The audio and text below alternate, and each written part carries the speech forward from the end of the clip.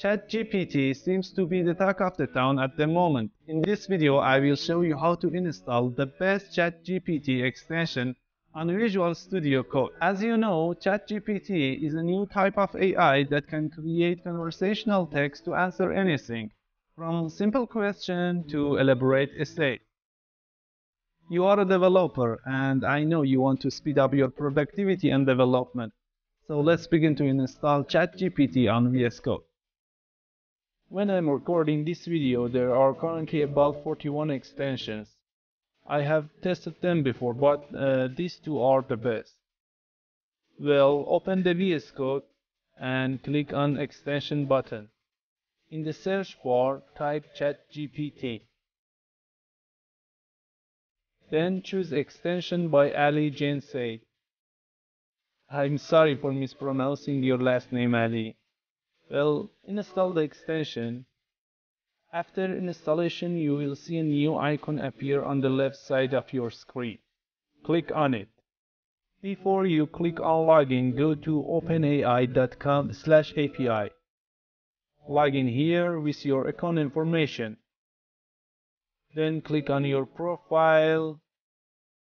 Then view API keys. Now create new secret key. Copy it. Come back to VS Code. Click on settings and search ChatGPT API and finally paste it here. Now we logged in. ChatGPT is ready to use. Let's test it by typing create functional component and containing address and phone with submit button. ChatGPT begins to generate the code for us.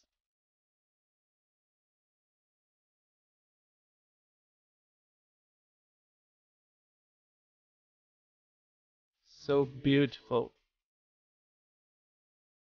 I will copy and paste it.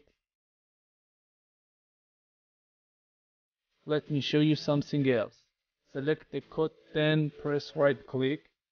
Yes, we have add test, find bug, optimize, explain. Let's test add comment.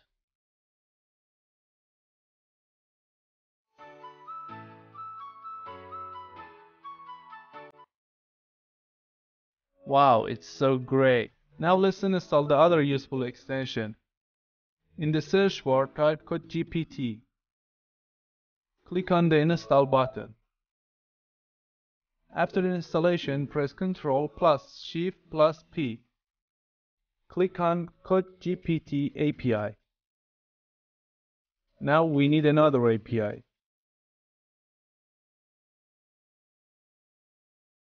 Create a new one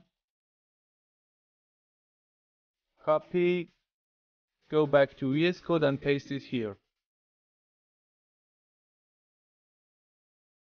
Press enter.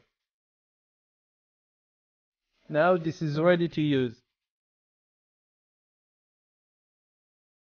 For example, write whatever you want as a comment and then press Ctrl plus Shift plus I. Both of these extensions will really improve and make your productivity faster. Use it every day. If you like this video and learn something valuable, please hit the like button and leave a comment down below. For more great tools and website, please subscribe my channel. As always, thanks for watching. I'll see you next time.